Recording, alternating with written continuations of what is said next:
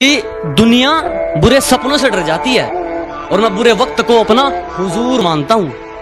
कि दुनिया बुरे सपनों से डर जाती है, मैं बुरे वक्त को अपना हुजूर मानता हूँ और कल क्या होगा, मैं कुछ नहीं जानता, कल कुछ करना है, ये ज़रूर जानता